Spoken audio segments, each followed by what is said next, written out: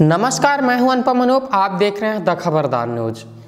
लद्दाख और लेह में इंटरनेट सेवा लागू होने के बाद बीजेपी महासचिव राम माधव ने कहा कि देश के लद्दाख और लेह के अलावा जम्मू कश्मीर की हालात भी लगभग सामान्य हैं। और बहुत ही जल्द जम्मू के साथ साथ कश्मीर में भी इंटरनेट सेवा बहाल कर दी जाएगी। नेताओं और आम आदमियों की गिरफ्तारी के विषय में उन्होंने कहा कि अब लगभग अधिकतर लोगों को हिरासत से छोड़ा जा चुका है। वहीं मात्र 30 बत्तीस मुख्य लोगों को अभी हिरासत में रखा गया है। और बहुत जल्द ही स्थितियाँ सामान्य होने के बाद उन पर भी उचित कार्रवाई की जाएगी। क्या कुछ कहा बीजेपी महासचिव राम माधव ने? जानने के लिए देखिए द खबरदार न्यूज़ की ये रिपोर्ट। बने रहिए द खबरदार न्यूज़ पर। वैसे तो लद्दाख में लेक क्षेत्र में तो इंटरनेट सर्विसेज़ बहाल हो गए थे।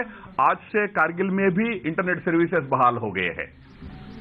और जल्दी हम अपेक्षा करते हैं, बहुत जल्दी इधर जम्मू में, उधर कश्मीर घाटी के अंदर भी धीरे धीरे इंटरनेट सर्विसेज़ जैसे ही परिस्थिति अनुकूल लगेगी, वहाँ भी बहाल हो जाए, हम अपेक्षा करते हैं कि प्रशासन उस दिशा में आगे कदम ज़रूर उठाएगी। और, जहाँ तक गिरफ्तारी या डिटेंशन की बात है, वैसे तो प्रारंभ में चार महीना पहले जब ये सारा महत्वपूर्ण निर्णय हुआ था तो बड़ी संख्या में लोगों को हिरासत में लिया गया, प्रिवेंटिव डिटेंशन में रखा गया। पर आज के दिन में 30-32 प्रमुख नेता मात्र प्रिवेंटिव डिटेंशन में है।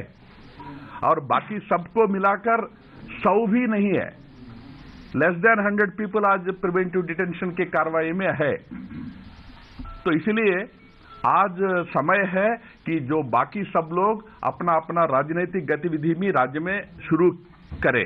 हमारे पार्टी तो कर ही रहा है, पर मुझे अच्छा लगा, कश्मीर जाने पर पता चला कि अब एनसीवी मीटिंग्स करना शुरू किया है।